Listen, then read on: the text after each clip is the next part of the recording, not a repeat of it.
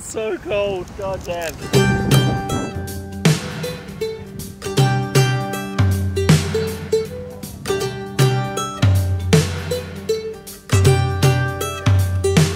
So hot off the back of Riga, we travelled across country to a Latvian wedding, and they are something that you have to experience. If you've got any Latvian friends, get invited.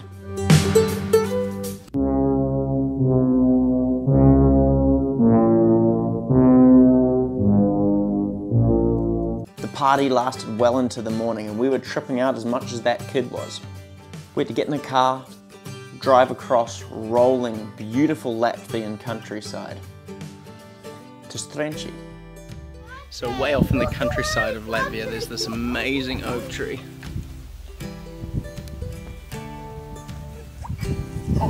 We're in a town called Strenci, and this oak tree is protected. It's been struck by lightning almost killed it, as you can see by the big split up the middle. But on that side, it's started to grow back. Now it's become like an icon. And so it's in the middle of farmland, it's completely protected, and you can see that it's got a fence all the way around.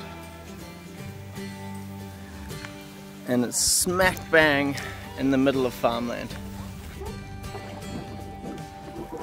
These wetlands are sort of an indication of what Latvia is like. Very pristine, but it's pristine in the sense that it's incredibly untouched. It's beautiful. We were the only ones there.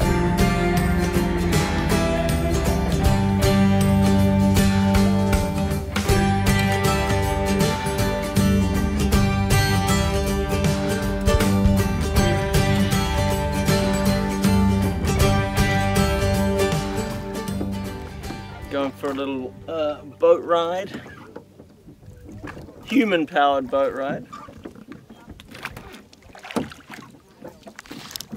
Straight into the reeds apparently. Oh my god, Greg! Stop, stop, stop. Oh, Uh, push back. Yeah. Right into the reeds.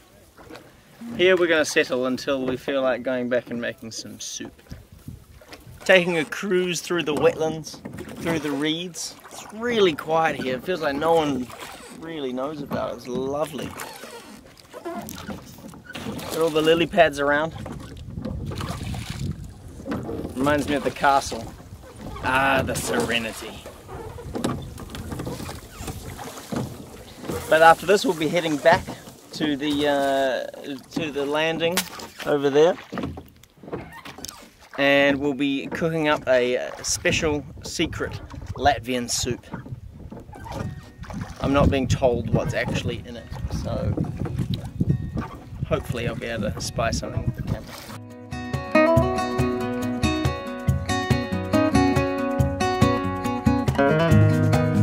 So we've just been for a beautiful boat ride out in the reeds and now we've got the hot coals down here.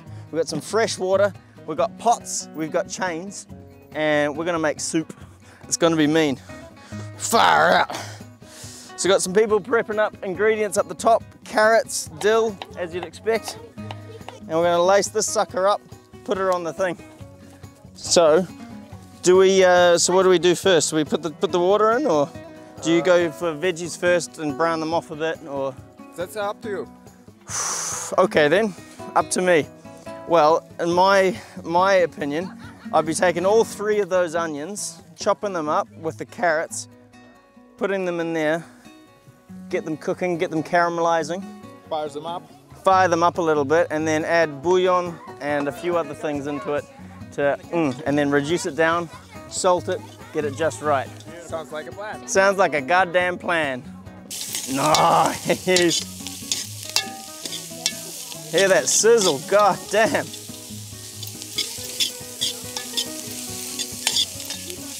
Cool, thank you. We'll just put that on the ground for now. All right, so that's not too bad. We'll just keep that, keep turning that. Make sure that we're uh, not letting it burn. Woo, Jesus. Woo. Absolutely scorching, god damn. It's calmed down a bit, which is good. What we're trying to do is we're trying to soften the carrots, soften the onion, get a bit of color, bit of flavor. What's this? Bio, bio eco.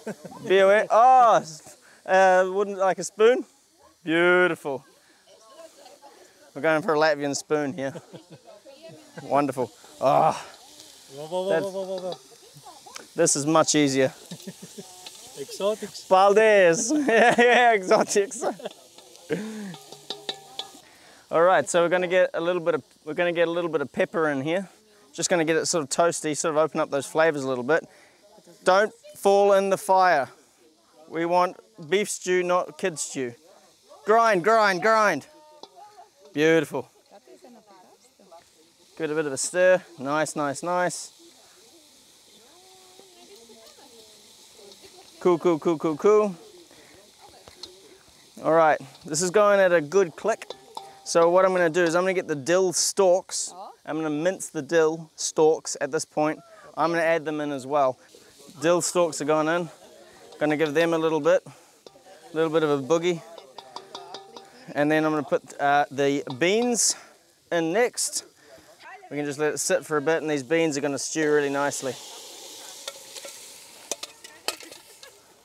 Got some nice, uh, that's pork.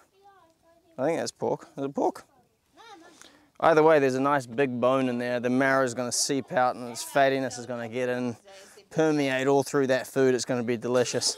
So if you have a look in there now, we're well on our way. Shortly, I'm going to add beetroot to it. We're going to get a nice, bright, vibrant hue along with a nice sweetness to it. And then we'll be getting damn close to where we need to be.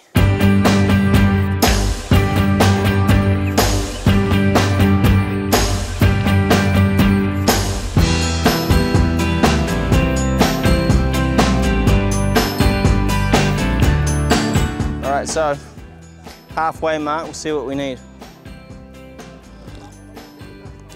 Okay, it's sweet, needs to reduce down, and we need a big hit of salt, but the dill's starting to come through. We'll add more of that later, and then we'll get the last of the celery, celery leaves, mince them up, put them into. Hopefully adding a bit of, uh, v- bit more vibrancy to it. And I'm assuming they brought sour cream because this is Latvia.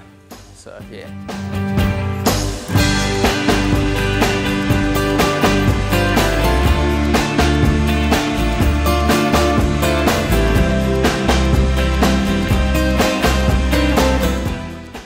Amazing what a bit of salt does. No, no, of course not. Not too much, just perfect. For now, it's just started to brighten up all those flavors. And we've still got just a little bit of texture and everything as well. But that salt's just sort of made all the, all the flavors pop. This is the man that made my stirring stick. And this is his dog.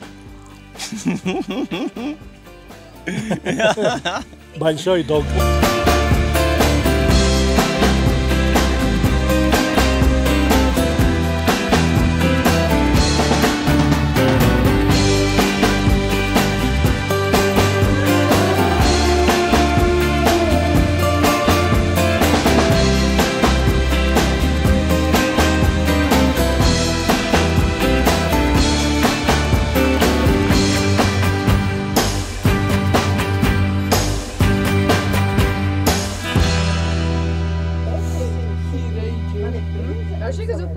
Super.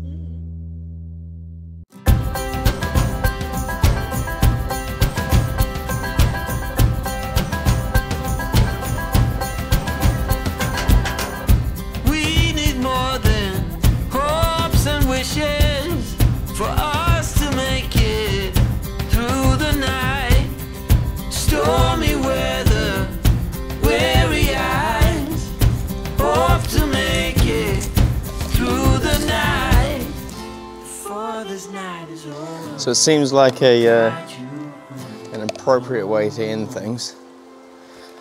Doing the Latvian national sport, foraging. Out in the bush looking for mushrooms and berries. It's been a bit of a dry season up until now, so the amount of mushrooms that there is likely to be is going to be low, but if I find one, I will take it. Other than that, it's just very peaceful knife and bucket, I will find something.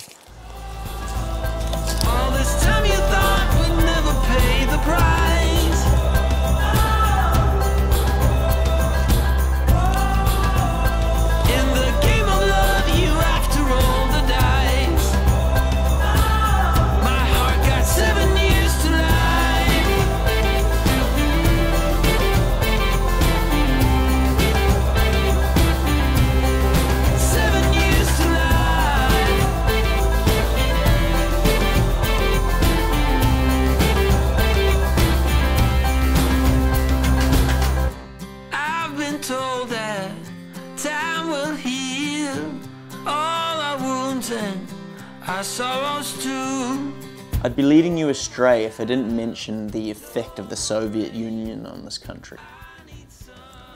That Iron Curtain came down really hard and it suppressed their culture and then hid it from the world. But now that that Iron Curtain has been lifted, the culture has sprung forth. It's just growing. And they're still rediscovering everything that they lost over that period. And I almost would say don't go there because there's still so much that they're trying to, dis- to discover, but I can't really actually recommend that. It was so beautiful, so many things to see, and everyone is so welcoming.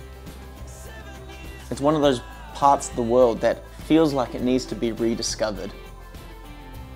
And I'm suggesting to you to go there with open eyes and actually discover it. Get out past Riga, see the countryside, and see what they're about.